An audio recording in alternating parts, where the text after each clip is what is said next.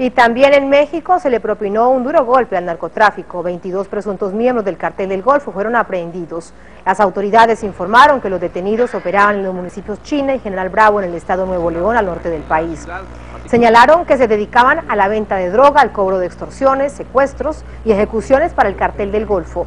La policía les decomisó cuatro vehículos, 14 armas largas, una escopeta, un arma corta, una granada, más de 3.000 cartuchos de diferentes calibres y varios envoltorios de droga.